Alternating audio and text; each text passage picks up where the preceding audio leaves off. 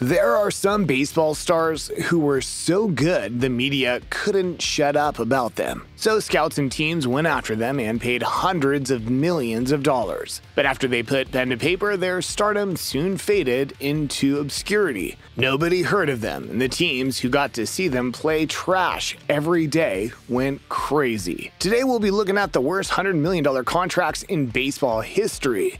This list is not in any particular order. Vernon Wells could easily have become one of the greatest players to ever hold a baseball bat. He started pretty well, entering the league as the fifth overall pick in 1997 for the Toronto Blue Jays. From 2004 to 2006, he won the Gold Glove Awards consecutively and the Silver Slugger Award in 2003.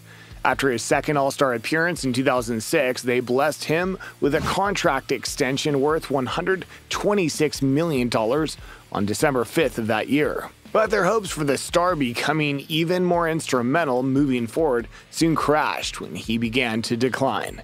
So, general manager Anthopoulos quickly convinced the Angels to take him off their back in 2011. Good thing for the Jays, but bad for the Angels. Then, out of nowhere, the New York Yankees got in on the mess. Things went even more sour when he became constantly plagued by injuries. His last season was with the Yankees, and he didn't even get to play for them once, but collected a $25 million salary. For Mike Hampton, it's mostly a case of ill luck because he had had a great start to his professional career, too. Two All Star appearances, a national wins leader in 1999, and an NLCS Most Valuable Player award in 2000. But after his MVP award, the Colorado Rockies gave him the largest contract of that time on December 9th, 2000, an eight year deal worth $121 million, which was supposed to be a steal from the New York Mets. Prior to that time, the Rockies had a rocky pitching and had hoped the star pitcher would help them break what looked like a pitching curse of the Coors Field. But it wasn't really a curse per se. Coors Field just has the problem of being the most elevated stadium in MLB. This results in lowered air resistance, which handicaps pitches but makes hitting a lot easier.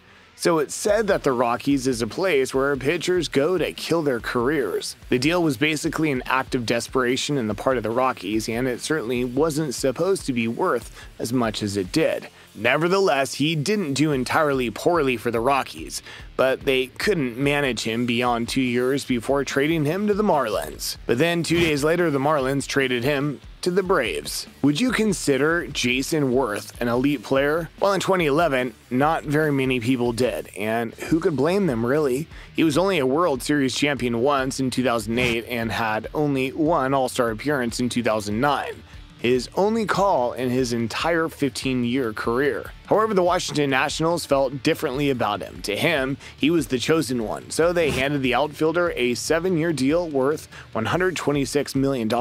With a subpar career batting average of .270, one could expect nothing more than $50 million. But apparently, the Nationals didn't care. He played his last baseball with them and was honored with the Washington Nationals Ring of Honor. Prince Fielder's nine year contract worth $214 million would not have been the dumbest decision decision for the Detroit Tigers. Can you really blame a team for acquiring an informed first baseman who had just come off a stellar season. In 2011, when the Tigers gave him that huge deal, he was considered as one of the best players in the league.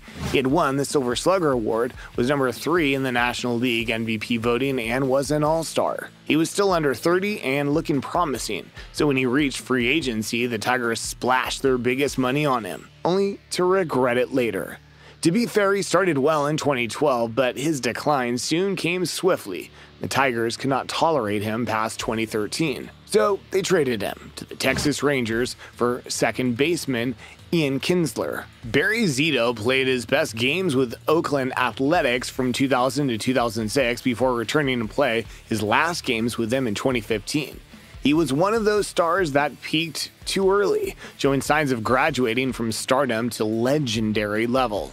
Unfortunately, life happened to Zito. Well, this misfortune had nothing much to do with his earnings, though, because even when he was already declining, the San Francisco Giants embraced him with a seven year contract worth $126 million. In December 2006, when they made the move, the owner of the Giants, Peter Magowan, even called him special and referenced Barry Bonds.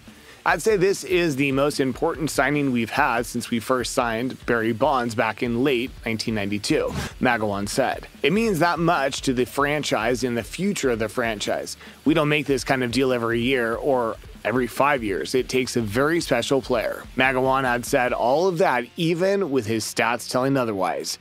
And he only got worse. His stats dropped further, and the teams and the fans were getting impatient. But before he could be thrown out of the team, he shocked the world in 2012 as he was instrumental during the 2012 World Series that won the Cardinals the title. But he still makes this list because every other time since he got that deal, he was terrible and only showed vestiges of who he once was in the beginning in the 2012 postseason tournament. The Boston Red Sox had high hopes for Carl Crawford when they signed him to a seven year contract worth $142 million. Supposed to be a steal from the Tampa Bay Rays, where the left fielder had excelled. Prior to that time, he was already an All Star for four years, had won a Gold Glove and Silver Slugger awards the year previous, and was a stolen base leader four times from 2004 to 2007. So it was basically a no brainer deal. Even the Yankees had shown their interest in the guy. Sox manager Terry Francona went on the Dale and Holly show to praise him. I think he's a game changer. He's that guy that can change a game defensively, offensively. When he gets on base, he gives you a headache. He has a little bit of that Johnny Damon in him where he's swinging and I'm not sure he knows where the ball is going. But he fouls off six or seven, then he'll rifle one into right field or bounce one and beat it out. He has a way of changing the game. Frustrates the heck out of you. Sometimes you can do everything right, and if he gets on base, you can't throw him out. But boy, was Francona proven wrong. You see, some players would wait to disappoint you. This was not the case for Crawford. His first season started terribly, batting .137 and just two bases in his first two games. But Crawford had a defense for himself. He claimed the Boston environment was toxic and he was in a depression stage. So in 2012, the Los Angeles Dodgers traded him, and right until his retirement, he never regained his initial form of brilliance. This might surprise you, but A Rod deserves to be on this list. We know he's a World Series champion. We know he has three American League MVP awards, two Gold Glove awards, 14 All Star appearances, 10 Silver Slugger awards, five home run leaders, and four American League Hank Aaron Awards. Okay, that was quite the mouthful, and there was other great achievements that highlighted his illustrious career. But listen to this.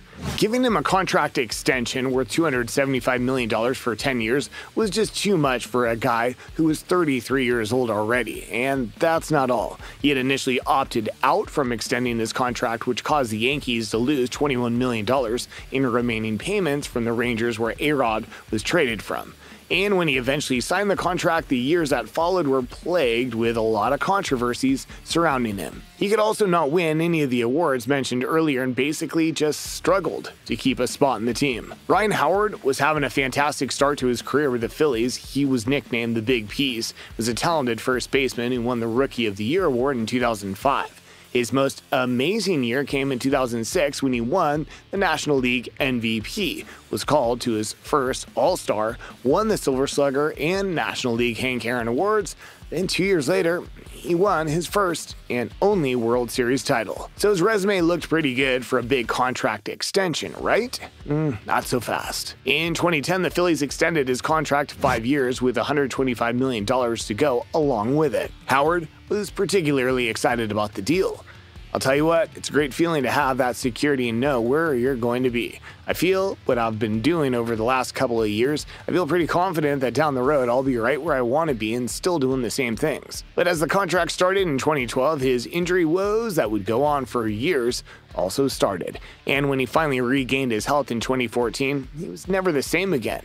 So tell us, if you paid over $100 million to sign a player, but later have them not play up to their expectation, what would you do to them if trading was not an option? If you enjoyed this video about the worst 100 plus million dollar contracts in baseball history, check out the video on the screen now or the one we posted below because we're sure you'll like that one too. See you there.